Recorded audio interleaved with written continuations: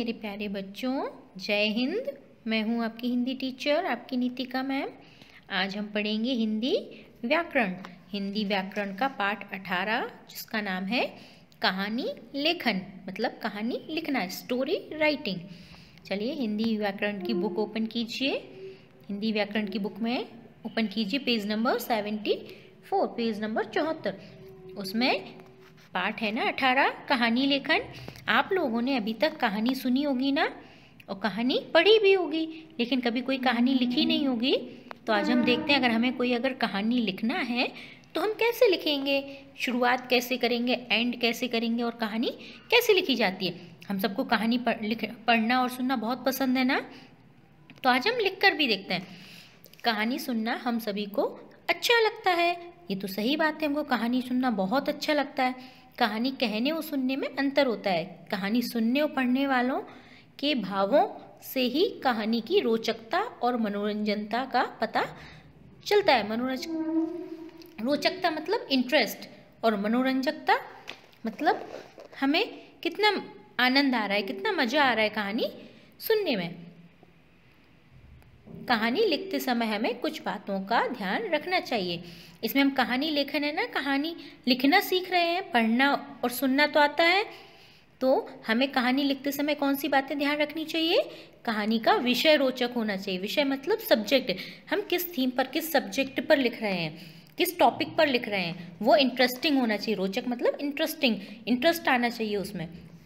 कहानी में हमेशा छोटे छोटे वाक्यों का ही प्रयोग करना चाहिए। मतलब जो सेंटेंस होते हैं, वो छोटे छोटे शॉर्ट में हो, तभी तो अच्छे लगते हैं।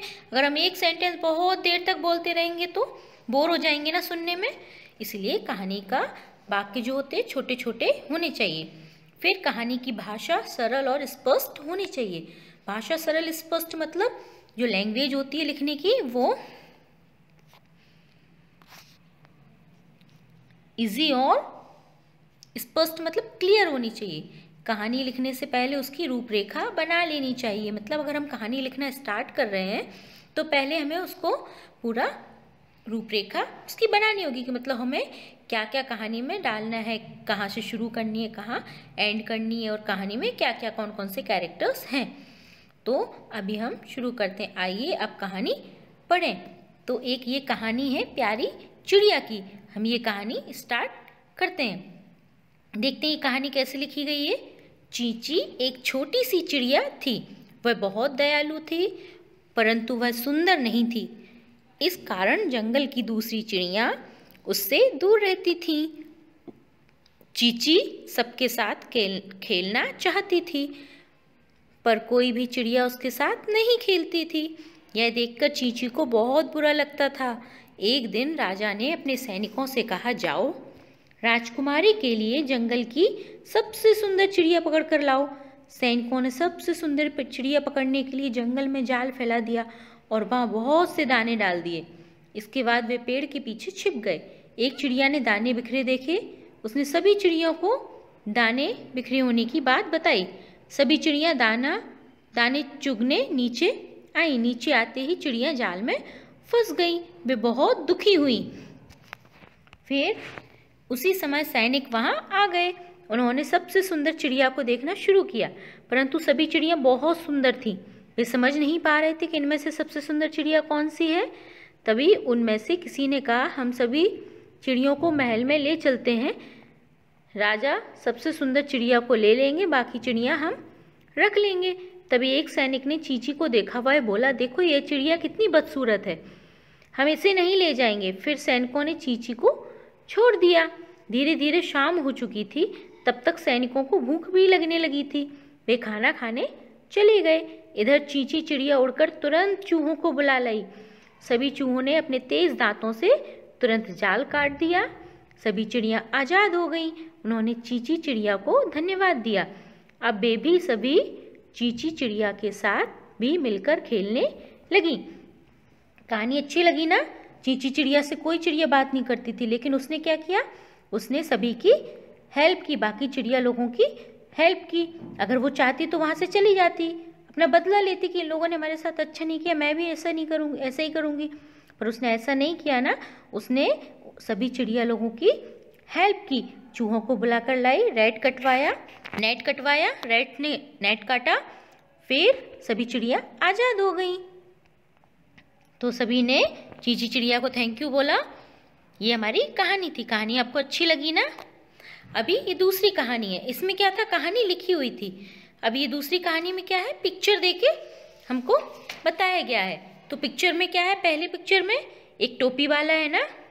वो टोपियाँ बेचने शहर को जा रहा है। टांग कर एक जंगल से निकल रहा है। जंगल में क्या है? बहुत सारे बंदर है ना पेड़ के ऊपर। उसने क्या किया? दूसरे पिक्चर में वो पेड़ के नीचे बैठ के आराम करने लगा क्योंकि वो बहुत थक गया था। उसने देखा सारे बंदर नीचे आ रहे हैं। देखो, इसमें ऐसे ही दिख रहा है ना? फिर तीसरे में क्या है? सारे बंदर ने टोपियाँ उसमें पोटली में से निकाली, अपने अपने सर पर पहन ली और जाकर पेड़ पर बैठ गए। चौथे पिक्चर में यही है ना, जब वो जागा तो टोपी वाले ने क्या देखा? कि वहाँ पर उसकी टोपियाँ नहीं है, वो सब बंदर ने पहन रखी हैं। तो पहले उसने क्या किया? एक पत्थर निकाल कर फेंका। तो सभी ने भी वहाँ से पेड़ से फल पत्ते और फूल तोड़कर फेंकने लगे। फिर उसको एक क्या आइडिया आया? उसने नेक्स्ट में क्या किया? अपनी टोपी निकाली और ऐसे हवा में उछाली और नीचे गिरा दी। तो बंदर तो नकलची होते हैं ना बंदर सारे। नेक्स्ट पिक्चर में बंदर क्या कर रहे हैं? उसने देखा ये कैसे गोल घुमा के टोपी नीचे फेंक रहा है। तो बंदरों ने भी अपनी टोपी निकाली गोल घुमा के नीचे फेंक दी।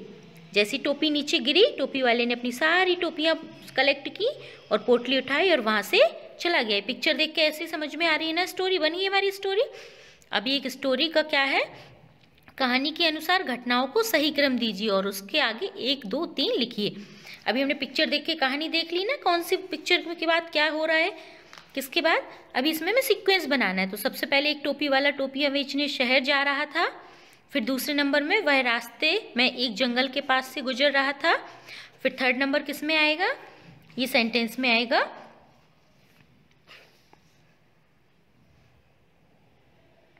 उस जंगल में बहुत सारे बंदर थे।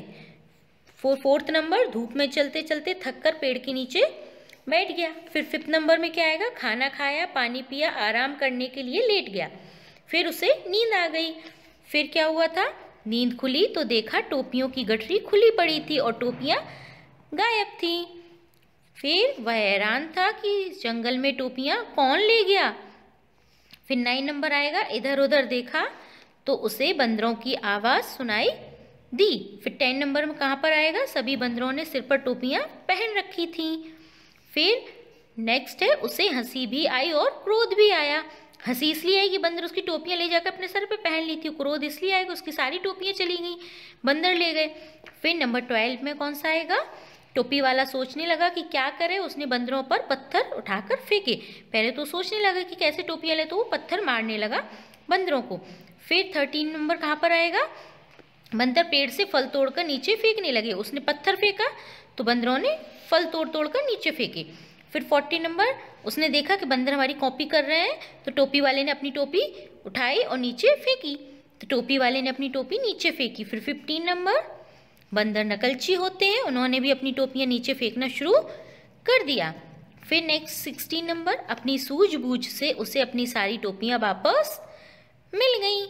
तो ये हमारा पूरा स्टोरी पूरी कहानी कंप्लीट हो गई है।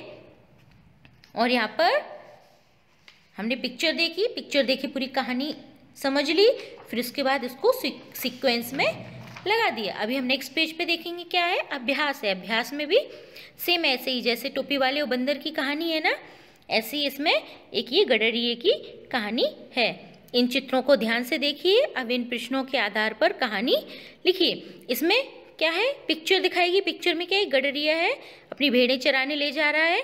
पेड़ के नीचे बैठा है। एक दिन उसने क्या किया? गाँव वालों को मज़ाक आया उसके मन में और वो चिल्ला के बुलाने लगा कि, भेड़िया आ गया, भेड़िया आ गया। तो सभी गाँव वाले उसको बचाने के लिए दौड़ने लगे। जब गाँव वाले वहाँ पहुँचे तो नेक्स्ट टाइम क्या? हंसने लगा कि मैं तो मज़ाक कर रहा था। गाँव वाले बहुत गुस्सा हुए और वहाँ से चले गए। फिर नेक्स्ट पाँच फिफ्थ पिक्चर में क्या है कि सच में एक दिन भेड़िया आ गया। वो सबसे चिल्लाने लगा, बचाओ बचाओ भेड़िया आ गया। लेकिन गाँव वालों ने सोचा, ये फिर से मज़ाक कर रहा है। तो कोई गाँव वाला नहीं आया और भेड़िए ने उसकी सारी भेड़ें खा ली। और वो फिर क्या हुआ? गडरिया रोता रह गया। तो इस कहानी से हमें क्या शिक्षा मिलती है कि हमें कभी झूठ नहीं बोलना चाहिए? हमें कभी किसी से मज़ाक ऐसा नहीं करना चाहिए कि फिर सच में कोई हमारी बात पर यकीन नहीं करे। ये कहानी अच्छी थी, समझ में आया। अभी इसमें देखते हैं क्या करना है। इसमें क्वेश्चंस दिए गए हैं। पहले चित्र में गडरिया क्या कर रहा है? दूसरे चित्र में गाँव वाले। गाँव के लोग गडरिया के पास क्यों आए? तीसरे चित्र में गाँव के लोग क्यों गुस्सा हो रहे हैं? चौथे चित्र में गडरिया क्यों हंस रहा है? फिर नेक्स्ट क्वेश्चन है, पाँचवें चित्र में गडरिया क्यों शोर मचा रहा है? छठे चित्र में गडरिया क्यों पछता रहा है? तो ये सिक्स पिक्चर्स है ना, छह चित्र हैं तो उसमें देखना है कि ऐसा ऐसा क्यों हो रहा है? तो हमको कहानी समझनी है और लिखनी है तो सबसे पहले इन क्वेश्चन के हम आंसर लिखेंगे तो जब आंसर्स हो जाएँगे तो उसके बाद हमारी कहानी बन जाएगी। पहले चित्र में गडरिया भेड़ों को घास चराने ले जा रहा है। दूसरे में क्या है? दूसरे चित्र में गडरिया ज़ोर ज़ोर से बचाओ बचाओ, भेड़िया आया कहते हुए चिल्ला रहा है, जिसे सुनकर गाँव वाले उसके पास दौड़े चले आते हैं। तीसरे चित्र में जब गाँव वाले गडरिया के पास पहुँचते हैं तो वहाँ उन्हें कोई, कहीं कोई भेड़िया नज़र नहीं आता। गडरिया के झूठ बोलने पर उन्हें बहुत गुस्सा आता है। फिर चौथे चित्र में गडरिया गाँव वालों पर हंस रहा है, क्योंकि वे सभी उसके झूठ को सच समझकर आए थे उसकी मदद करने। फिर पाँचवें चित्र में गडरिया भेड़िए के आने पर शोर मचा रहा है। पाँचवें चित्र में क्या सच में भेड़िया आ जाता है और वो गडरिया है जो, वो शोर मचाने लगता है। भेड़िया उसकी भेड़ों पर हमला कर रहा है और गडरिया घबरा कर गाँव वालों को बुला बुला रहा है, जिससे भेड़ बच जाए। फिर नेक्स्ट में क्या है? छठे चित्र में गडरिया अपने झूठ बोलने की आदत पर पछताता है, क्योंकि जब भेड़िया भेड़िया सचमुच उनकी भेड़ें खा रहा था, तब कोई उसकी मदद के लिए नहीं आया। तो ये हमारे क्वेश्चंस के आंसर हो गए और पूरी स्टोरी भी बन गई। अब हम इसको कहानी की तरह कैसे लिखते हैं? इसको हम पढ़ते हैं। एक गडरिया था, वह जंगल में अपनी भेड़ें चराने ले, के लिए गया। भेड़ें क्या होती हैं? शीप होती है ना? जिससे वूल ऊन मिलती है तो उनको जो चराने ले जाते हैं, उनको जो रखते हैं, उसको गडरिया बोलते हैं। उसके मन में एक शरारत सूझी, वह ज़ोर ज़ोर से चिल्लाने लगा, भेड़िया आ गया, भेड़िया आ गया, बचाओ बचाओ। गाँव वाले लाठी लेकर दौड़े आए। उन्हें देखकर गडरिया हंसने लगा। गाँव वालों के पूछने पर कहने लगा कि मैं देखना चाहता था कि मेरे चिल्लाने पर कोई मेरी मदद को आता है या नहीं। यह सुनकर गाँव वालों को बहुत गुस्सा आया और वे भुनभुनाते हुए वहाँ से वापस चले गए। भुनभुनाते हुए मतलब गुस्से में। वो अपना सब काम छोड़कर आए थे ना, उसकी हेल्प करने के लिए, लेकिन उसने तो मज़ाक किया था। एक दिन रोज की तरह गडरी अपनी भेड़ों को जंगल चराने के लिए गया कि तभी वहाँ पर भेड़िया आया और उसकी भेड़ों पर झपटा। गडरिया ज़ोर ज़ोर से बचाओ बचाओ पुकारने लगा, पर कोई उसकी मदद के लिए नहीं आया। गाँव वालों ने सोचा, शायद वह रोज की तरह शरारत कर रहा है। भेड़िए ने उसकी कई भेड़ें मार दी और गडरिया बहुत पछताया। तो ये हमारी कहानी थी। हमने पहले पिक्चर्स देखी और कहानी हमको समझ में आई, फिर क्वेश्चंस के आंसर दिए, फिर उसको एक कहानी की तरीके से लिखा। तो कहानी लेखन सबको समझ में आएगा, कोई कहानी लिखना है तो हम कैसे लिखेंगे? तो ये हमने यहाँ पर अपनी तीन कहानियाँ पढ़ी। एक चींची चिड़िया वाली कि हमें सबकी मदद करनी चाहिए, और दूसरी वाली कौन सी थी? टोपी वाले उबंदर की। तो जब हम मुसीबत में हो, परेशानी में हो तो मैं अपनी दिमाग से, समझदारी से, सूझबूझ से काम लेना चाहिए। और तीसरी में पिक्चर में टोप कौन सी गडरिया वाली कहानी है? तो जिसमें क्या है कि हमें कभी भी झूठ नहीं बोलना चाहिए ना ही किसी से मज़ाक करना चाहिए। तो ये हमारी कहानी कंप्लीट हुई। ये पार्ट भी यहीं कंप्लीट हुआ। अभी नेक्स्ट पार्ट पढ़ेंगे। इसकी आपको एक्सरसाइज में कुछ नहीं करना है। सिर्फ़ ये कहानी गडरी वाली लिखनी है यहाँ पर। जो खाली जगह दी गई है ना तो ये इसमें जो क्वेश्चंस पूछे, उसके आंसर्स ये खाली जगह में लिखनी है। और कहानी को आपको नोटबुक में लिखना है। एक ये वाली कहानी और टोपी वाले और बंदर वाली कहानी भी सिक्वेंस वाइज आपको नोटबुक में लिखनी है।